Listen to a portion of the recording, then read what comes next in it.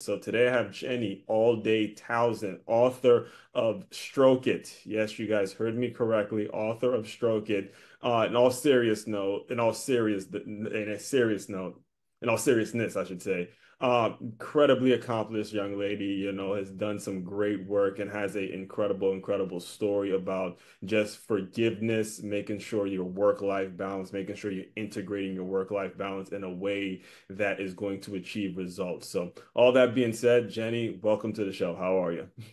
I'm doing great. Thanks so much for having me. I'm looking forward to stroking your audience and providing some great value.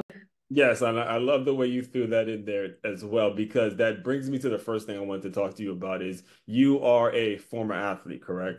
And yes. you, uh, you know, one of the things that I'm very, very passionate about as a former football player, coach, scout, all of that, uh, I'm really wanting, you know, young athletes to see the opportunity that they have to develop in business and develop in relationships and all the things that they're doing now, how it applies to the business world.